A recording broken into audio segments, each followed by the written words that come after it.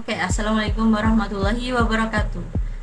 Saya Palbidia Melanding Room. Saya di sini akan membuat sebuah informasi dari database mentah yang nantinya perlu dikelola lagi, yaitu data mahasiswa. Jadi di data mahasiswa ini di dalamnya nanti ada tabel seperti e, tabel fakultas, tabel e, panitia, tabel peserta, tabel prodi dan tabel tahun yang nantinya masih berhubungan dengan mahasiswa. Oke, ini bisa langsung aja kali ya. Ini aku udah ada udah ada data mahasiswa di sini. Di data di database mahasiswa ini terdapat 1 2 3 4 ada 6 tabel 5 tabel yang tersedia yaitu kita e, pakai tabel peserta untuk dikelola. Coba dulu?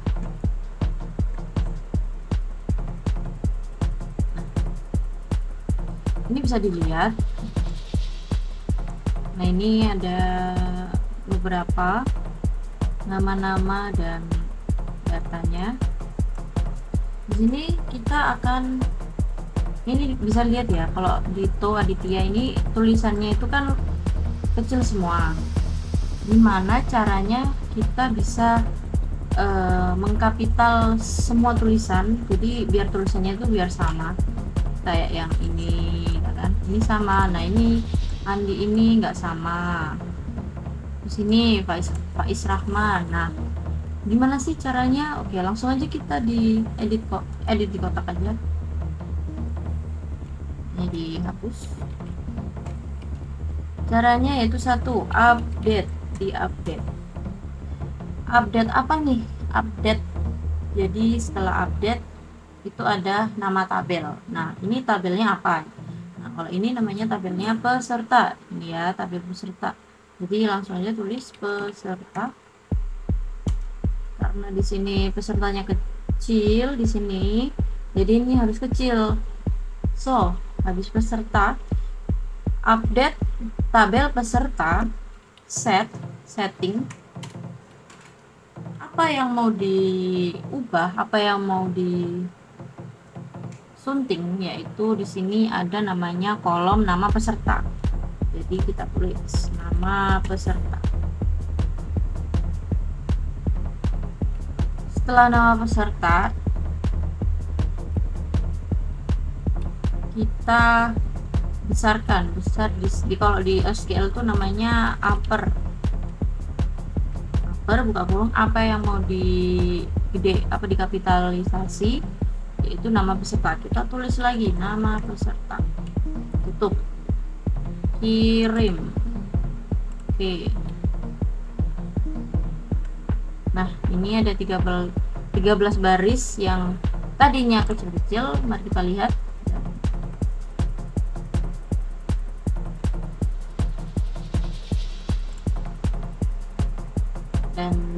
sudah besar-besar ya ini. Nah untuk selanjutnya yang seperti di ini jenis kelamin kan ada yang kecil. Ini juga penulisannya kecil besar. Nah bisa pakai dengan cara yang tadi yang terus cara kedua yaitu jenis kelamin ini kan ada yang typo ya. Ada yang salah ketik lah kurang lah ini laki-laki kurang i kan. Sini ada yang kecil gimana caranya kita update lagi update. Oke update tabel peserta set setting kolom jenis kelamin. Kolom jenis kelamin sama dengan ini ditulis yang benernya dulu. Yang benernya itu laki-laki di mana apanya yang harus dirubah? Itu di mana? Di kolom jenis kelamin. Nah ini kan laki-laki ya. Kita copy aja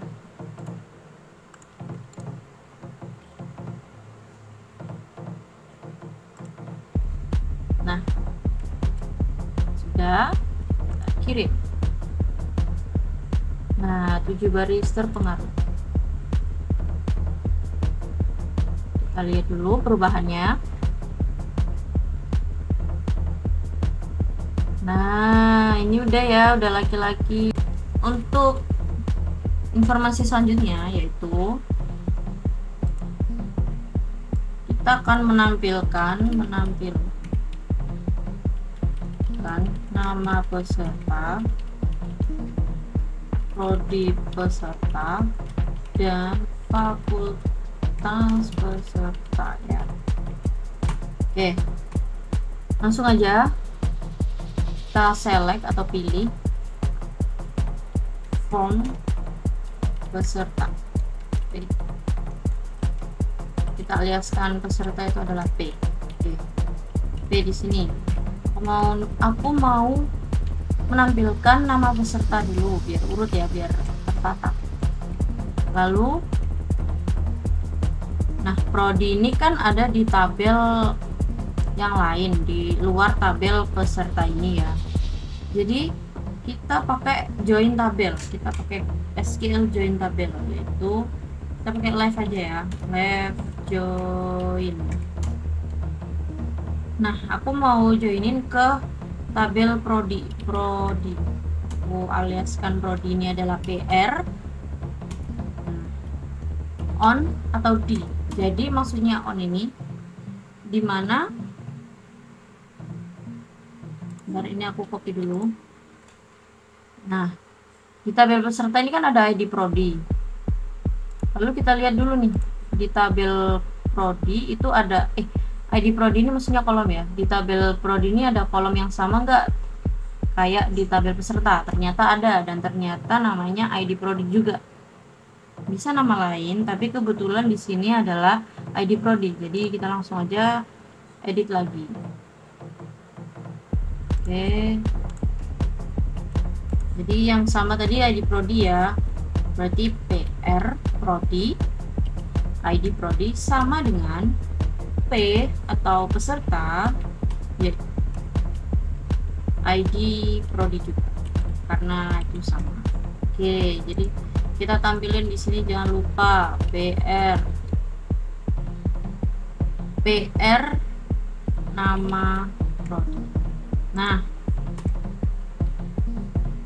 kan kita juga tadi mau menampilkan nama fakultasnya juga ya. Jadi langsung aja kita joinin ke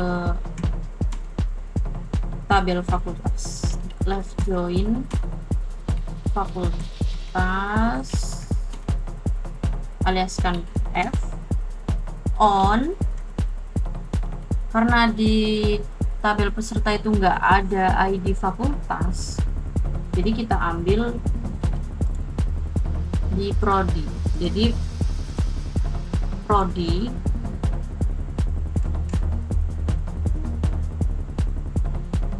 di ID prodi kan ada ID fakultas ini ya ID fak. Di fakultas pasti ada ID fakultas juga. Jadi maksudnya tuh gitu jadi harus ada kolom yang sama. Gitu guys. Maksudnya on maksudnya on di sini adalah kolom yang sama. Jadi F ID fakultas sama dengan karena di sini prodinya koalisan PR jadi PR sama dengan ID fakultas. Oke. Oke ini sudah.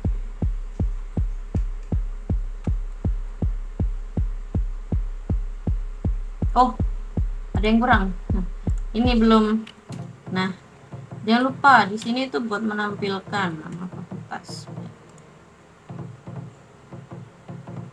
nah ini udah ya udah keluar semua oke yang selanjutnya aku akan menampilkan urutan nomor atau NIM kita pakai NIM aja dan nama peserta secara ascending dan descending. Oke, paham ya? Caranya select ID ID peserta kita aliaskan nim koma e, nama peserta kita aliaskan nama. Ya. Lalu from from tabel peserta. Kita ambil datanya di tabel peserta. Order by. Ya di sini maksudnya order by itu mengurutkan apa yang mau diurutkan uh, misalnya nim secara dari yang terkecil ke terbesar. Berarti ascending